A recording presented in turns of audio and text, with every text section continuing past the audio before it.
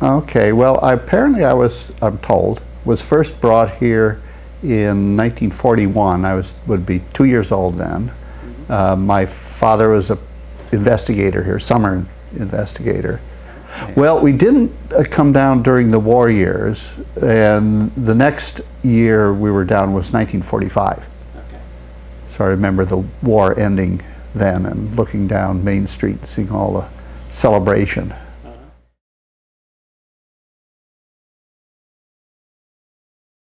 Well, he was a researcher here. He was professor of anatomy and chair of the department at Syracuse. And um, every summer we'd all pack up and come down to Woods Hole. He was a part-time director. He was still chair of anatomy at Syracuse, taught, was there for nine months and then two months, two and a half, three months here. Um, and still maintained a laboratory, still himself physically be belly up to the lab bench on a daily basis. Uh, would occasionally go on um, uh, trips during the uh, other nine, the winter, fall, winter, spring part of the year, uh, fundraising.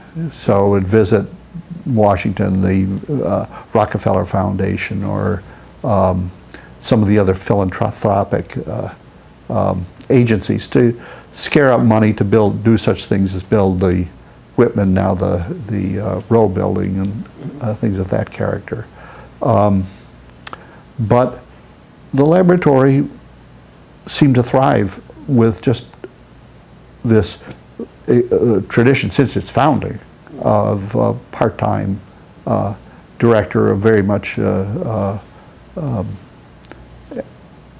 and biology was of a character that it didn't require the much more intensive administration that we now see of, of the MBL or any other institution of its similar character.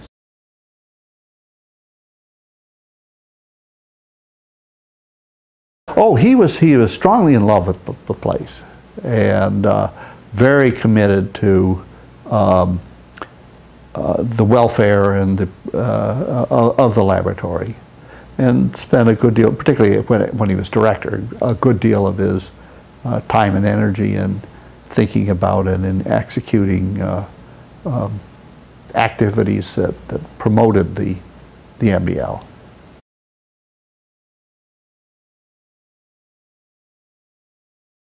Yeah, I worked for the Marine Resource, what was then called Supply Department, as a collector, summer collector, and uh, I was assigned to the, the truck, which was uh, headed by Jeff Leahy, a permanent employee.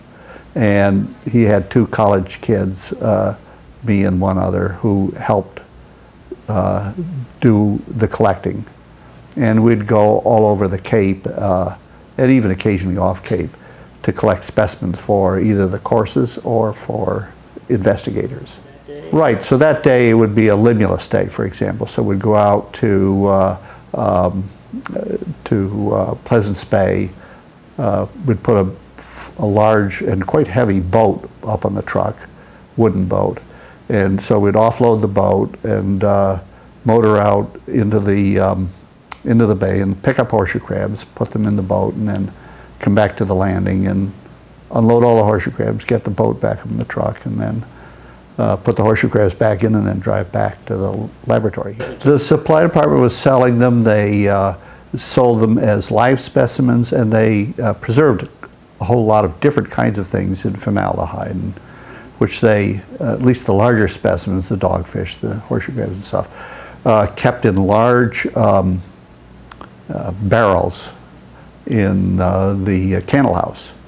And then they also housed much of the summer crew in Candle House. So uh, those folks were smelling uh, formaldehyde vapors all summer long uh, from the uh, these so-called tierces with preserved specimens. So that, that, was then, of course, when we were less alert to uh, environmental insult than we are now.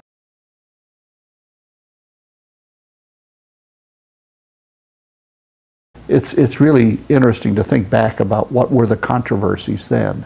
Do cells have really a physical cell membrane was very much up in the air. Uh, what are uh, what is the endoplasmic reticulum? That this notion that there's this uh, vast web of, uh, uh, of membrane, membranous structures in the cytoplasm of the cell was a totally novel concept. Did the Golgi apparatus even exist, or was it a, a fixation artifact? All, all, of that was um, uh, subject to very lively debate back then.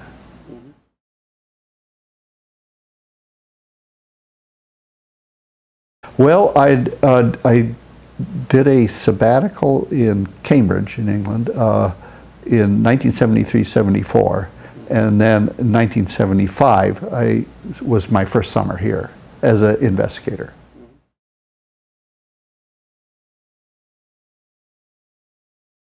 But I'd become quite interested in the um, sort of social mo uh, locomotory behavior of cells as they migrate around and interact with one another and how this uh, governs the, the patterns of, of cells and I was particularly interested in uh, role of cell migration in the invasiveness of certain cell types, invasion into other tissues. Mm -hmm. And um, there had been, back in uh, uh, oh, the 1915, 1920s, uh, um, let's see, Loeb, um, wasn't Leo Loeb, maybe it was Leo Loeb, uh, looked at this problem with the modal blood cells of horseshoe crab. Mm -hmm. And uh, so, and the, the observations I thought were interesting and germane to this general question. And so, uh, with the light of more modern paradigms of what's going on, and uh, uh, sought to reinvestigate that. And so, horseshoe crabs uh, fortunately for me, don't occur in California. And so I couldn't, wouldn't be shuttled to the, uh, any of the West Coast marine stations, but instead uh, came back to Woods Hole to do that research and lived in the cabins. We came back for yeah. six years living in the cabins. And, and that, that research has sort of, um, uh, over the years, migrated more into a, um, an interest in uh, comparative immunology the blood cells are major players of the horseshoe crab and, of course, our modal blood cells of human uh, innate immune system, and uh, but has also become more um, uh, grounded in uh, protein biochemistry. So isolation, identification, characterization of various immune effector proteins of horseshoe crabs, and that um, uh, drift into protein biochemistry. Um, uh, began in 1982 when I shared a laboratory with uh, here in, at MBL with Jim Quigley. Uh, uh, he and I had both found ourselves, well, he had been an investigator here at MBL uh, in the late 1970s, mm -hmm. and they lived just a few houses down for us from us on um, on on not Memorial Circle. It's Devil's Lane, yeah. And um, so we became friends then, and then we both completely by accident or in, completely independently found ourselves on sabbatical in the laboratory of Henry Harris at the Sir William Dunn School of Pathology at Oxford mm -hmm. for a year. And it was kind of funny, the year before, Margaret, my wife, was talking with Joan, Jim's wife, uh, there just on the circle. And uh, well, we're not going to be in Woods Hole next summer. Oh, we're not going to be either. And, well, where are you going to be? Oh, we're going to England. Peter's on sabbatical. Oh, my goodness, Jim's on sabbatical in England. Uh, where is he? Oxford. Oh, Peter's. and then found we're in the same laboratory. And so then afterwards, we decided we'd like to share a laboratory uh, at, at MBL. And in 1982, we uh, planned what we planned to do for research was to characterize the proteolytic system that um, uh, resolves or, or, proteolyzes the blood clot. And Jim is a, a, protein protease biochemist and had worked on plasminogen activator and plasmin and dissolution of the blood clot and all of that in mammals. And so we looked for something similar in horseshoe crab, which also builds a extracellular blood clot that presumably during wound repair and such wants to get rid of. And um, so presumably has some sort of system of proteases that do this. We found nothing. We did just everything we did didn't get us anywhere. Um, but we did, quite by chance, discover a protease inhibitor in the plasma of the horseshoe crab that turned out to be the first example of a class of proteins that is quite important in immunity, the uh, thiolester proteins. First example of that in, in, in an invertebrate. And so that was proteins, it was protein biochemistry, it was purification of proteins and characterization. And so that um, uh, um, re redirected the research more towards the uh, system of immunity. And we've been, I've been uh, pursuing that uh, direction of research ever since. Mm -hmm. Particular interest in immune effector agents, and particularly proteins, that are evolutionarily conserved, that are found in humans and are found in horseshoe crabs, mm -hmm. that presumably evolved very early in the evolution of metazoans, and that are important enough to have been maintained in these very different um, evolutionary lineages over half a billion years. Um, animals that live in very different lifestyles and all of this. And so this was one of those. And there have been one or two others that I've spent time with in the intervening uh, decades.